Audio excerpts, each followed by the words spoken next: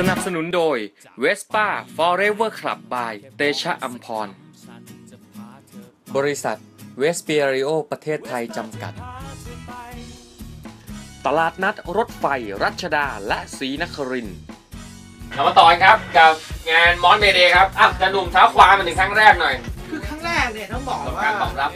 มัน Mods Mayday ครับ มันเป็นงาน Mods Day ที่ชัดเจนที่สุดนะครับ เท่าที่แบบประเทศไทยเคยจัด นะครับเปิด time first time เลยครับครั้งหนึ่งประเทศไทยในแนว Mods เนี่ยเราจะชัดเจนมาก Mods จ๋าเรามีมามากแล้วก็มันมันแล้วก็มันไม่ได้บรรจบเปลี่ยนะนะจารย์หนุ่มมันคือการตอนนั้นมันจะเป็นกลุ่มใครกลุ่มมันใช่ครับมันมีการเปลี่ยนยุคครับนะครับมาเป็นยุค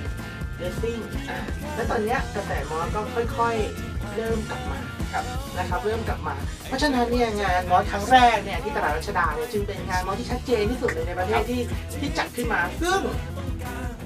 ซึ่งคนเนี่ยที่ไม่ได้สกูตเตอร์เห็นเนี่ยทุกคนมี question mark ในหัวหมดว่า มันคืออะไรใช่ไหมครับ what is it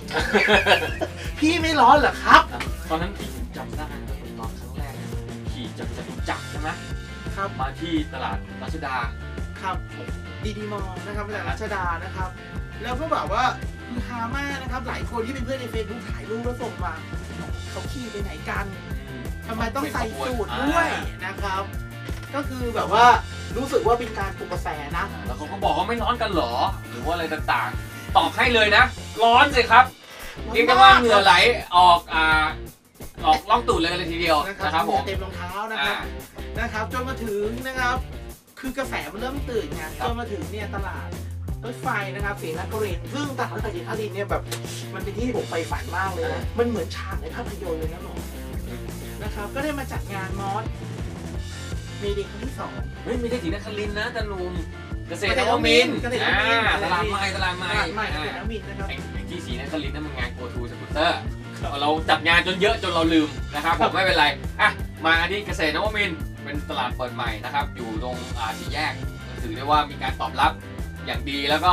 มีการจัดงานมอสเมเดย์กันเกิดขึ้น แล้วก็เป็นการรวมพลพรรคของมอสครั้งที่สอง ครับ ครับ อะสภาพบรรยากาศในงานก็ อาจจะคล้ายๆครั้งแรกนะจันหนุ่มก็ต้องคล้ายกันไหมครับจันหต้อนุ่งมต้องบอกก่อนว่างานเนี่ยงานเนี่ยผมคุยได้คุยกับผู้จัดผู้จัดก็บอกว่าเฮ้ยจริง ๆ แล้วเนี่ยรถคุณไม่จำเป็นต้องติดไฟติดกระจกก็ได้อืมคุณแต่งตัวมาก็พออ่าฮะเพื่อมาร่วมขบวนกับเราอะไรอย่างเงี้ยครับก็นิยามของ Mods ก็บอกเลยว่าจริง ๆ มันต้อง Mods มาจากวิถีชีวิตนะครับพูดถึงเรื่องรถเรื่องอะไรไปแล้วจารย์หนุ่มอันนี้พูดถึงเรื่องแฟชั่นหน่อยครับ เรื่องแฟชั่นก็คือมี เสื้อ parka เนี่ยใครเป็นคนยัดเสื้อ parka นี่ต้องบอกก่อนจริงๆมันเป็นเสื้อทหารครับนะครับ เสื้อ parka เนี่ยที่ผมไป search ดูเนี่ยไปเจอจริงๆเนี่ยหมอรู้ไหมเป็นกันน้ำครับกันหิมะกันร้อนโอ้โหคืออย่างแบบว่าเรามีหมดเลยนะทั้งหิมะทั้ง คือคือแต่อังกฤษเนี่ยวันหนึ่งนี่มันเอออาจแต่จะฤดูอะฝนตกเนี่ยตกวันหนึ่งสามรอบประสี่มาณรอบนั้นอะไรอย่างเงี้ยครับครับผมเพราะฉะนั้นเขาก็จะเอาเสื้อทหารเนี่ยมาใส่กัน เพราะว่า สมรรถนะน่ะคุณภาพมันสูงใช่ไหมครับ เพราะฉะนั้นเนี่ยวิถีชีวิตเนี่ยจะใส่สูทเนี่ยแต่ก็คลุมเป็นปากกานะครับกันหนาวด้วยกันน้ำด้วยกันหิมะด้วยอะไรอย่างเงี้ย ของเราถ่ายทอดมาก็แล้วรักกันไหมรับกันมา แล้วส่วนฤดูร้อนฤดูร้อนก็จะใส่เป็นเสื้อโปโลยี่ห้อ Ben Sherman โอ้โห ต้องมียี่ห้อด้วยนะ เออ ต้องเป็นแบบรองเท้า Ben Sherman อ่าฮะ รองเท้า Ben Sherman ก็เป็นจะเป็นคัทชูนะอ่าฮะ นะหมอนะแบบว่า summer นะครับวก Mods นะก็จะมีโลโก้ Mods ตรงๆอยู่ครับ เสื้อรองเท้ากางเกงพวก Ben Sherman ซึ่งพอต่อมาเนี่ย Lambretta เองเนี่ยครับ Lambretta มีกับลิขสิทธิ์คือลิขสิทธิ์รถกับลิขสิทธิ์ accessory พวกเครื่องแต่งกายครับ ก็ทำเสื้อผ้าแนว Mods มาเช่นกันผมคุณแบบ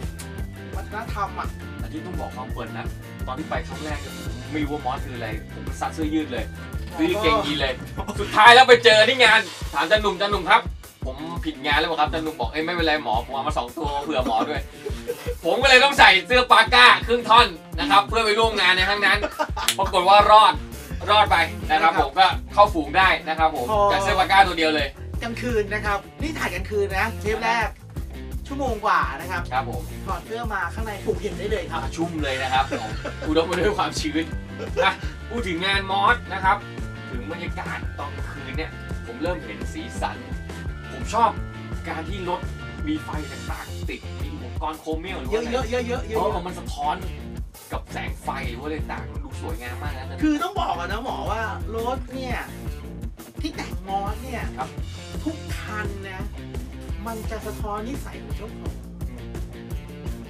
มันจะสะท้อนเลยว่าคุณเป็นคนยังไงครับมอสบางคันไม่มีไฟเลยเป็นของแต่งเท่คนเดียวเลยแล้วก็มอสเลยหรือมอสบางคันไฟเยอะ แต่ไม่แต่งนอกนั้นไม่แต่งอะไรเลย ก็มีก็มีอะฮะมอสบางคนที่ผมผมไปดู แต่งรถไม่แต่งอะไรเลย แต่แต่งตัวแต่งตัวมาเต็มก็มอสก็มอสบางคนรถแต่งเต็มแต่ตัวไม่แต่งก็มอสอีกก็มอสใช่ต่อทีเนี้ย เราก็เลยรู้สึกว่าเฮ้ยอ๋อมันอยู่ที่คุณคงอยู่ที่จิตวิญญาณจริงๆนะ ใช่จากจากจากที่คุยกับเพื่อนเพื่อนชาวสวีเดนที่คุยกันนะครับ ก็เลยก็เลยใช่ก็เลยเข้าใจว่าอ๋อมอสเนี่ยที่พูดถึงว่ามอสมอสเนี่ยอ๋อก็คือแนวการใช้ชีวิตวิถีชีวิตของเขา โอ้โหก็อย่างที่บรรยากาศในงานไม่ได้มีแค่คนไทยนะแต่วันนั้นน่ะงานบรรยากาศที่เกษตรนวมินทร์เนี่ยเราพบชาวต่างชาติพบเอ่อพบฝ รั่งมากมายคนจีนหรือว่าอะไรต่างๆมาถ่ายรูปมากมามายอ่ามาดูมาชมงาน เรียกได้ว่าเป็นการตื่นตาตื่นใจครั้งหนึ่งของคนไทยในบรรยากาศสกูตเตอร์ ต้องเล่าให้ฟังหน่อยว่าเพื่อนจากฮ่องกงมาเที่ยวเพื่อนจากฮ่องกงมาเที่ยวงานมอสตกกระจายอะถามว่าเฮ้ยอยู่ประเทศไทยอะมีรถสกูตเตอร์เยอะไหม ก็เลยเอาจำนวนสมาชิกในสมาคมให้ดูว่ามีประมาณ6กหมื่นกว่าคนปัจจุบัน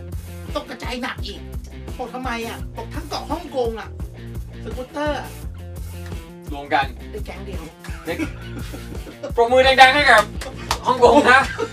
ทำให้เรารู้เลยว่าบ้านเราเนี่ยเป็นชนกลุ่มใหญ่ของสกูตเตอร์ใช่ครับโอ้โหคนจะต้องติดค้างไว้เดี๋ยวเราต่อบรรยากาศในงานนอกจากความมันมีเรื่องราว รถการแต่งตัวแฟชั่นอะไรต่างๆเดี๋ยวไปพบกันอีกช่วงหน้ากับงาน Mods Mayday ครั้งที่สองครับครับ